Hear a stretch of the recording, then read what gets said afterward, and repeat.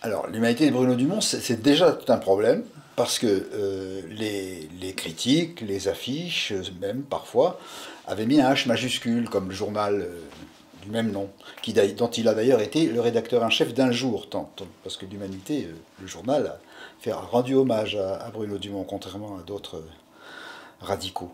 Et donc, l'humanité, en fait, c'est un petit H, il y tient, il le dit, parce que ça veut dire la bienveillance. Ça, veut dire la, et il dit lui-même d'ailleurs que, son, film, il est là pour faire du bien, pour faire de la lumière et pour faire du bien aux gens. Donc euh, c'est un film humain en fait. Voilà ce que ça veut dire. L'humanité dans le titre. Alors après, euh, euh, ce, qui, va devenir très intéressant chez, chez Dumont, qui, qui n'est qu'en germe dans l'humanité, c'est sa façon aussi d'aborder les gens simples. Alors bien sûr, il y avait eu la vie de Jésus avant. Euh, mais euh, c'était le seul finalement. L'Humanité est arrivé en 99, ça a été son deuxième film. Il a été primé à Cannes avec Rosetta. Et euh, après, il a, on l'a vu après dans Camille Claudel ou dans Le Petit Quinquin. Euh, euh, arriver à, gérer la simplicité des gens jusqu'à la, jusqu'à la débilité, quoi, tout simplement. Il, a, il, a, il, sait faire il sait travailler avec les gens et se faire comprendre et, les, faire, et se faire et transcender, se faire transcender les gens les plus simples par leur simplicité même. Et ça, c'est ce qui est très fort euh, dans, dans, le cinéma de Dumont et qui fait que c'est sous le signe de l'humanité. Parce que ce prologue est curieux, euh, parce que ce prologue est tout à fait curieux et euh, on se demande, enfin, l'action ne commence qu'après. Et il reste énigmatique finalement jusqu'à la fin, puisque il, se, termine sur la vision du cadavre de la fille violée dans, le, ruisseau, quoi, dans le, dans, dans le dans la, dans la jalle, on dirait chez nous, hein, dans, dans, le rue. Et euh, lui, on ne le voit pas. Il n'est il est pas présent euh, dans la découverte du, du, cadavre. En revanche, euh, il, il, il, aura, il, aura, couru absolument toute la nuit précédente. Et tout est fait pour que, en réalité, l'agacement du spectateur face au genre policier, soit, soit, soit, soit, soit, suscité, soit, soit aiguisé, euh, parce que finalement, euh, il apparaît comme le suspect idéal dès, le début, hein, et euh, ce, ce qu'il n'est probablement pas, hein, et puisqu'il va y avoir un aveu à la fin et tout ça, mais il n'est pas là, il est, il est triste, il porte en fait toute la culpabilité du monde on a vraiment l'impression qu'il vient de commettre ce, crime et, qu'il a couru après avoir commis ce crime toute la nuit et qu'il n'est surtout pas là au moment de la découverte. Alors, euh, donc on est devant tout un code policier qui, est, qui est agacé comme ça, qui est, chatouillé par, par, Dumont. Euh, et euh, après, quand ça démarre, eh ben, on a des espèces d'incapables, de, de, gens complètement, oui, complètement impossibles, improbables, voilà, c'est ce que je veux dire, et qui mènent une, une enquête en dépit du bon sens. Et la, la, la, solution, si solution il y a, va se découvrir à la fin. Et eh euh, le campement du personnage tel qu'il est dans, sa, dans son humanité, justement, dans sa profondeur, c'est cette espèce de, culpabilité qu'il tient depuis le début et qui va le, mener tout le long, dans tous les épisodes de l'humanité, autres que même que avec ça, avec Domino, avec, euh, euh, avec le, son ami, euh, avec ses voisins, il, a il est toujours coupable d'exister. et en fait, cette culpabilité est beaucoup plus générale qu'une culpabilité meurtrière. Voilà. Et en même temps aussi, il y a, sur les cinq minutes que dure ce prologue, il y en a deux où il écoute euh, une musique de clavecin rarissime, de Pointgrasse Royer. Enfin, je veux dire, c'est impossible que ce, bonhomme soit mélomane, d'autant qu'après on le voit avec un, espèce de synthétiseur où il sait absolument rien jouer, donc il, est habité par la musique euh, de façon instinctive, pulsionnelle. Et donc l'humanité, par, ces deux minutes de clavecin musique rare, euh, un, Savoisien du XVIIIe siècle quand même, Pancras Royer. Qui connaît Pancras Royer? Et en plus sur un, clavecin euh, historique joué par euh, William Christie, enfin bon voilà.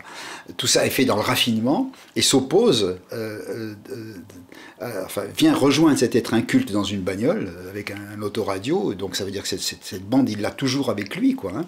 elle, lui sert de, tuteur finalement psychique, comme lui servira le synthétiseur chez lui. Et ça donne une dimension au personnage. Euh, ça, l'ouvre énormément, alors qu'après, on va avoir et, et, le seul moment où il court aussi. C'est le seul moment où il court, parce qu'après, au contraire, il va être exaspérant de lenteur. Hein, dans son élocution, dans ses, réactions corporelles. C'est un mou, quoi, c'est un nous. Ça, c'est mon travail. Voilà, Manuel Chotet, qui est, un acteur gigantesque, parce qu'aucun acteur n'est capable d'attendre le temps comme ça, d'attendre la caméra. tout, autre acteur s'impatienterait, enfin. voilà. Et donc, cette espèce de, de, de, suspension que font ces cinq premières minutes, euh, c'est considérable. Après, ça rappelle quand même les analyses de Barthes sur Sarrazine qui disait que dès la première phrase, il avait compris tout le code, tout le code littéraire de, Balzac. Euh, et, le livre que fait Barthes sur l'article, le texte que fait Barthes sur la Sarrazine, euh, procède de la même façon. C'est-à-dire, il dit voilà, en lisant les, dix premières lignes de Sarrazine, on a compris tout. Le, je, je, ne le savais pas. C'est un ami qui me l'a qui me l'a fait remarquer par la suite. Mais c'est profondément ça. L'humanité raconte euh, l'histoire d'un. Enfin, la découverte dans, dans le prologue d'un viol d'une jeune fille de, de 10-11 ans, euh, dont on va revoir la tombe dans France d'ailleurs. Euh, le dernier film de, on revoit une tombe semblable d'une fille qui a le même nom, qui s'appelle Nadine, et qui est, violée à 11 ans, et, où ils vont faire cette visite. Et euh, ce, viol euh, soulève absolument le, euh, cœur et la tête de, tout le monde, et en particulier de l'ami de d'Emmanuel, sa voisine, qui n'est pas son ami, euh, c'est pas sa partenaire. Il aimerait bien, mais il n'y arrive pas. Et, euh, cette, cette, domino, donc, qui, est jouée par Séverine Canel, là encore, une actrice extraordinaire, et qui est une ouvrière, et euh, qui, elle, est une militante aussi, enfin, une militante, une, une, indignée de l'injustice la, de, la, de, la, de, de la condition ouvrière. Et euh, donc tout ça se passe dans un Bayeul improbable, parce que Bayeul, c'est quand même une ville riche, euh, animée, euh, normalement. Hein. Et là, elle est déserte comme des, comme des tableaux de opère. Quoi. Elle, est, complètement vidée de tout et elle est presque métaphysique comme, comme ville. Et dans cet environnement-là, il est le pharaon de Winter, du nom de son grand-oncle qui est le peintre qui est du même nom, mène l'enquête avec euh, sous, sous, les ordres d'un commissaire qui est encore plus euh, incroyable que lui, qui, qui suit du coup, qui, qui, qui est là, qui ne sait pas où donner de la tête, qui ne sait pas comment manœuvrer les, interrogatoires, et, qui est lui aussi tout, à fait embarrassé par tout ça. Et ils vont donc sur la piste de la, recherche du coupable, et de la, du, du, du la coupable. Ce coupable, est-ce qu'il faut le dire là? Je ne sais pas, parce que des gens n'ont peut-être pas vu le, film. Euh, évidemment, sera découvert parce qu'il se rend. pratiquement. C'est lui qui vient dire c'est moi. Sinon, on l'aurait jamais trouvé et on aurait toujours continué à soupçonner le, le policier. Au moins, j'aurais gâché cette fin-là. Hein. Encore que on peut imaginer que malgré tout, lui profite de quelqu'un qui ferait un faux aveu pour devenir un vrai diable, quoi. Hein. Alors que c'est un, euh, c'est un saint. Dans, le texte qui, on va peut-être en parler de ça, dans le texte qui a précédé le, film, euh, qui est écrit par un narrateur euh, inventé par Dumont, le narrateur dit c'est, c'est un saint. D'ailleurs, à un certain moment, il y a une scène que pas tout le monde voit, qui est une scène de lévitation. Et il, s'élève de 40 à 50 cm pendant 19 secondes, ce qui quand même donnerait le temps de le voir. Hein. C'est long, 19 secondes pour une caméra. Et, donc, il est présenté comme quelqu'un euh, qui, cultive les pivoines, les dahlias en l'occurrence dans le film, et qui est là à se donner, à, toute sa, se charger de, toute la culpabilité du monde en fait. C'est un, un, un Christ. D'où la vie de Jésus avant. C'est tout à fait extraordinaire. Enfin, c'est pour ça que non seulement j'ai choisi de prendre les cinq premières minutes, mais j'ai choisi aussi de faire une sorte de montage entre le texte euh, préparatoire de, qu'a écrit Dumont et les phases qui correspondent exactement aux cinq premières minutes du premier chapitre. voilà. Et tout le film est comme ça, sauf que c'est, sa, façon de, décrire le roman n'est pas du tout un scénario. C'est un vrai roman, d'ailleurs on aurait dû le remarquer comme un phénomène littéraire, ce roman. Hein. Je veux dire, or il a à peine paru, il est impossible à trouver, enfin bon. Et euh, le, narrateur est un homme simple, un Picard, euh, de, de, de ces terres-là, euh, qui partage les préjugés, euh, la vie, les soucis euh, quotidiens et qui, le langage de, de, de, ce, de, ces gens simples et pas du tout le, langage dont est capable un, professeur de philosophie, parce que Dumont c'est quand même un professeur de philosophie au départ. Et, il a fait du cinéma qu'assez tard. Et, donc le narrateur, lui, voit ça par le petit bout de la lorgnette et euh, en même temps, euh, les, didascalies qui accompagnent le,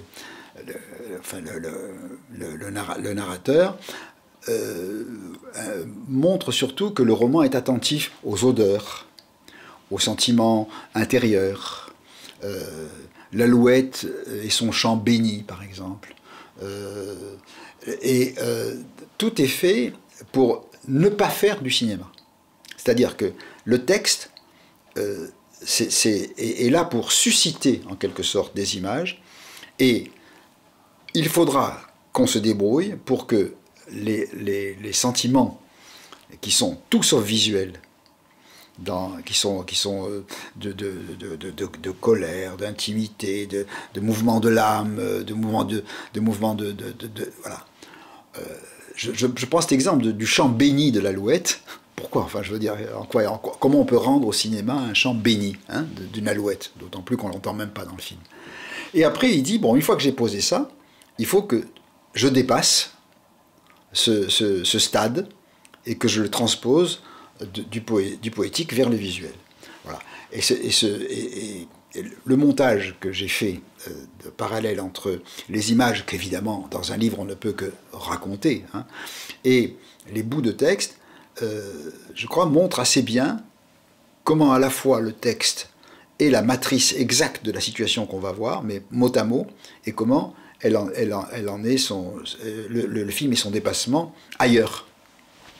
Pas son dépassement parce que c'est mieux, son dépassement parce que c'est ailleurs, son déplacement. Voilà. Si on voulait résumer la carrière de, Bruno Dumont, du moins jusqu'à nos jours, c'est quelqu'un qui a, qui, qui, qui a assez vite compris qu'il fallait jouer avec tous les genres. Alors, au départ, il était un cinéaste picard, et puis il a dit Moi, il faut que je m'en sorte. Je ne peux pas faire La vie de Jésus, euh, L'Humanité, Flandre. Donc, c'est la fameuse trilogie picarde. Il en a fait deux autres euh, qui se passent en pays picard, qui est Adevich et euh, Satan. Et puis après, il est allé en Provence avec Camille Claudel, en Amérique, avec 29 Palms, au milieu de la trilogie. Donc, il avait, il avait conscience qu'il fallait qu'il sorte de son terroir mais bien que le Nord, ça soit pour lui assez constitutif, hein, euh, c'est évident. Euh, il y revient donc dans France un tout petit peu, hein, qui se passe euh, sinon dans le monde, puisque c'est un reporter, une reporter. Et, donc, on pourrait dire que par exemple, La vie de Jésus, c'est un film social, sur le genre social, avec les. Voilà. L'Humanité, c'est un film policier. Euh, 29 Palms, c'est un film d'horreur hitchcockien euh, des Palmas. Hein. Euh, le, Flandre, c'est un film de guerre. Adevich, c'est un film mystique. Camille Claudel, c'est un, bio, un, biopic. le petit quinquin, c'est les aventures burlesques et il va dans le genre comique qui va reprendre avec Maloute France, qui est le film sur les médias et sur le journalisme. Bref, tous les, genres sont abordés, sauf un. Jusqu'à présent, c'est le pornographique. Et le pornographique, c'est celui qui lui a été reproché dans l'humanité dès son deuxième film, alors que vraiment, c'est le genre euh, qui n'a jamais touché et qui, je pense, il ne touchera jamais comme tel, parce qu'il faut faire une différence entre le fait de voir une femme les jambes écartées et de dire que c'est un film pornographique. Hein.